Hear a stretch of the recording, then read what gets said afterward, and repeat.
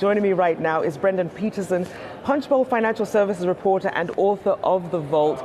So, Brendan, as we know, clock is ticking. Sunday, 12:01 a.m. is when it all comes to a, to a halt here.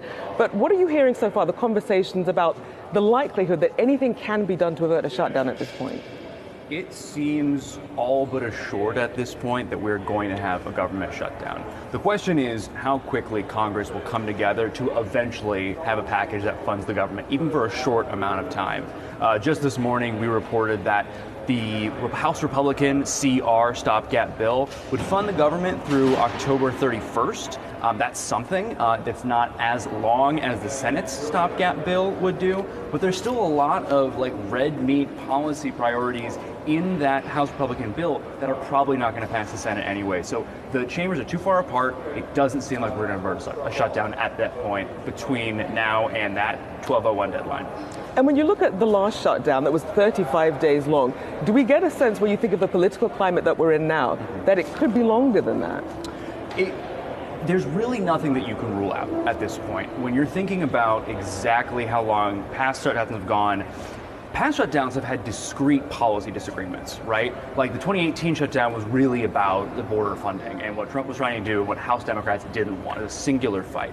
With this, the goalposts keep changing. Republicans cannot make up their mind about what they are actually mad about, whether it's securing the border or abortion policy or Ukraine funding. The list goes on and on, right? It's really just a handful of members within the Republican Party that are gumming up the works here. And so when it comes to like just how long a shutdown's going to drag out, it kind of falls to them as long as Kevin McCarthy continues to try to work with them.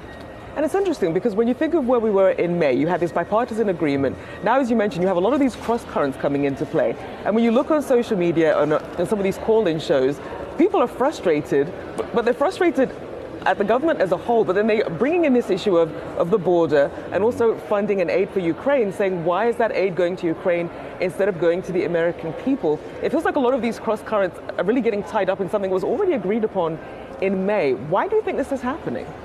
It's a great question, and it's it's a question that has reverberated around the Hill for a little while now. I mean, a lot of the conversation revolves around the House Freedom Caucus. A number of them have, if not openly welcomed a shutdown, um, they have certainly been pining for it. Um, I think there is an expectation that a government shutdown, while it might not reflect great on Republicans, Biden is the head of government, President Joe Biden. He is going to look at least a little bit bad if the government isn't functioning, if, if workers are not getting paid, if, if service members are not getting paid as a result of the shutdown. So you have to kind of squint to see the math here. There are titanic risks for both sides, but at this point, like the fighting has been so concentrated within the Republican Party, it's hard for me to see how they would avoid taking the brunt of the blame here.